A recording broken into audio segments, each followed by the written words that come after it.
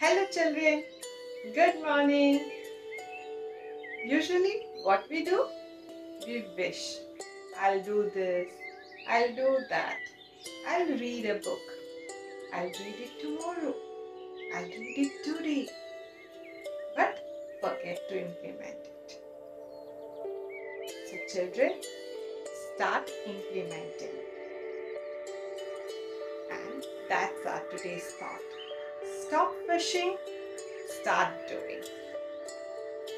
Will get a bright future. Bye. Have a nice day.